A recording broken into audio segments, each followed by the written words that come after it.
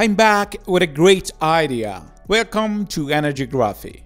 This is my new concept for a permanent magnet motor designed to generate energy using magnets. But how does it work?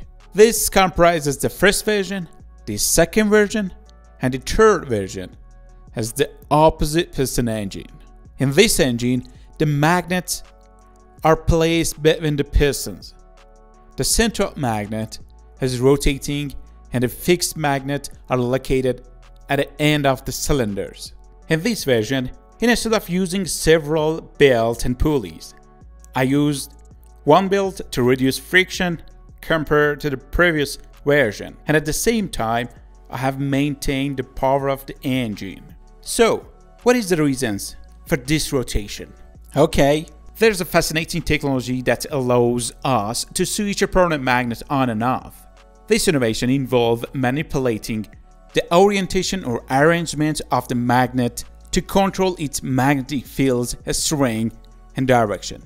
By altering the magnet's configuration, we can effectively turn the magnetic force on or off, akin to toggling a switch. Switching mechanism.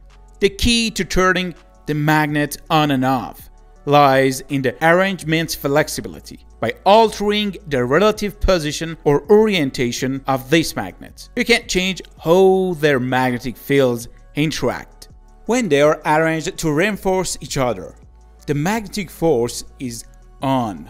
Conversely, when you change their alignment, the field no longer adapts, efficiently turning off the magnetic force.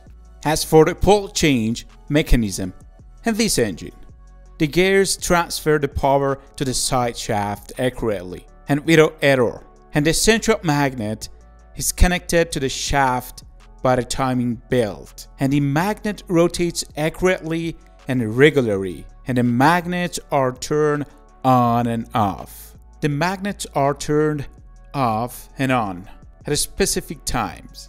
When one piston is being attracted, the magnet is turned on, while on the other side, the magnet is turned off as the piston move away. This cycle is repeated and the engine is then turned on.